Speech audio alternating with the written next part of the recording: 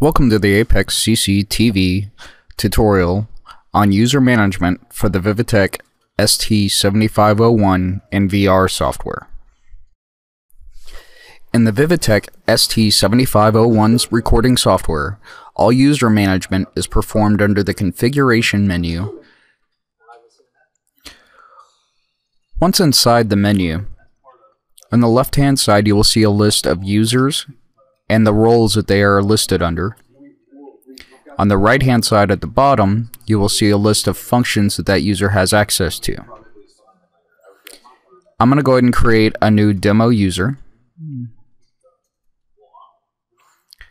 I will enter a password and then confirm the same password. And then I will choose the role.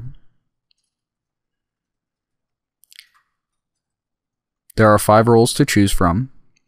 I'm going to choose Power User, which is an advanced role that has almost all of the administrative functions already added to it without it being a system administrator.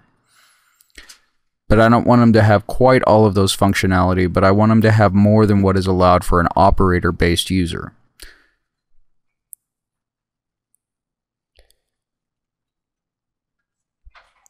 On the left hand side, you will have that function. On the right hand side, you will have a short description of that function.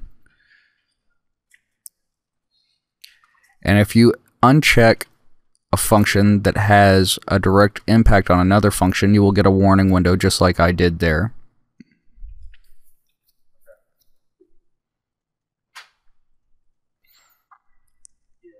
I'm almost finished adjusting this user's functions.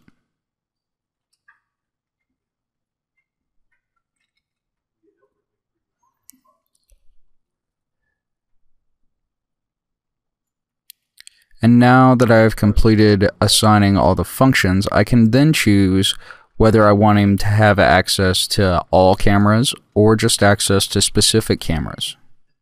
In this case, I'm going to allow this user to have access to all cameras. Once again, these users are specifically for the ST7501. These are not user accounts that exist on the cameras. Once you've completed all of your admin management, you can click close. That completes our look at the Vivotek ST7501 NVR user management. If you need assistance, you can reach us at 1 800 997 8460. Sales is option 1, support is option 2. Thank you for the opportunity to earn your business.